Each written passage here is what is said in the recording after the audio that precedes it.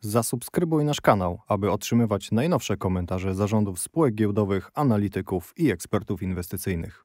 Partnerem programu jest spółka M-Food SA, największy giełdowy polski producent oraz dystrybutor miodów z całego świata, a także spółka Excellence SA, największy polski producent soków i napojów notowany na warszawskiej giełdzie.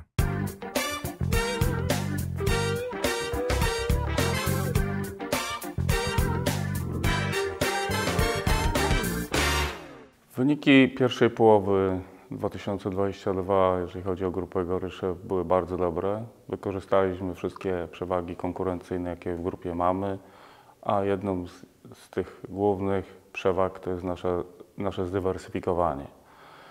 Głównym driverem, jeżeli chodzi o wyniki finansowe, był nasz segment metale, który kontrybuował w ponad 70% do wyniku EBITy. Chemia była na poziomie stabilnym, motoryzacja e, poniżej oczekiwań, poniżej e, wartości budżetowych.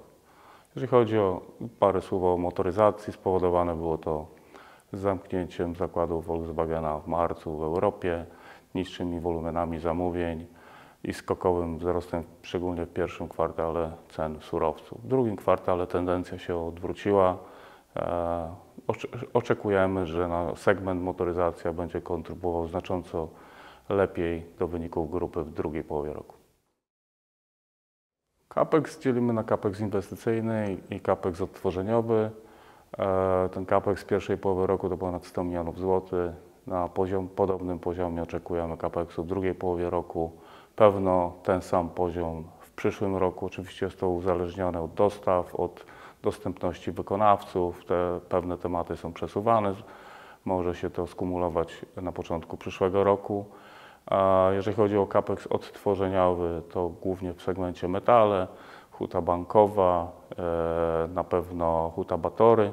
Jeżeli chodzi o capex inwestycyjny, to e, spalarnia odpadów e, w naszym zakładzie utylizacji odpadów, również inwestycja w automatyzację procesów produkcyjnych w naszym segmencie motoryzacyjnym w grupie Maflu. W pierwszej połowie roku e, byliśmy dobrze przygotowani. Myślę, że do końca roku to znaczącego wpływu na nasze wyniki nie będzie miało. E, mamy specja zespół specjalistów, e, który handluje energią i gazem i zabezpiecza nasze spółki wraz z kontraktacją. Czyli przy kontraktacji od razu zabezpieczamy i ceny gazu i ceny energii. Co będzie dalej? No na pewno jest ryzyko braku dostaw gazu, ale przed tym się zabezpieczyć nie da. Tu liczymy na e, politykę rządu. E, mamy nadzieję, że ten gaz jednak mimo wszystko będzie.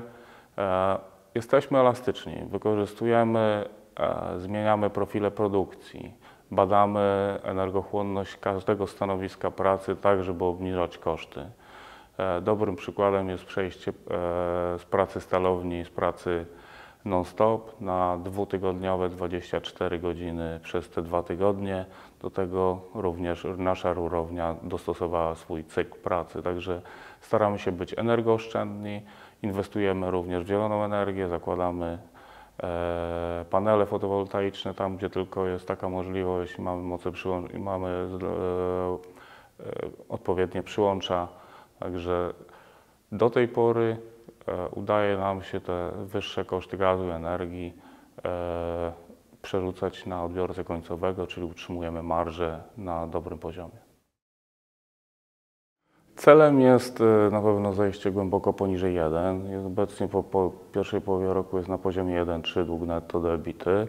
Wykorzystujemy wszystkie dostępne na rynku instrumenty finansowe typu gwarancje płatnicze, faktoring pełny, faktoring e, pozabilansowy. Naszym celem jest przyspieszanie, przyspieszanie obrotu. E, nie chcemy wydłużać terminów płatności. Jeżeli to jest konieczne, stosujemy faktoring. Przy obecnych kosztach finansowania, kosztach pieniądza naturalnym jest, e, naturalnym jest zmniejszanie zadłużenia. Jeżeli chodzi o segment metale, przewidujemy stabilizację, ale na poziomach, e, na poziomach zeszłorocznych. Te rekordowe e, wyniki segmentu z pierwszej połowy roku raczej się nie powtórzą. Liczymy na znaczący wzrost do końca roku w segmencie motoryzacja, szczególnie w końcówce trzeciego i czwartym kwartale. Chemia, jeżeli chodzi o segment chemii, e, wyniki powinny być na stabilnym poziomie. Partnerem programu była spółka M-Food SA, największy giełdowy polski producent oraz dystrybutor miodów z całego świata, a także spółka Excellence SA, największy polski producent soków i napojów notowany na warszawskiej giełdzie.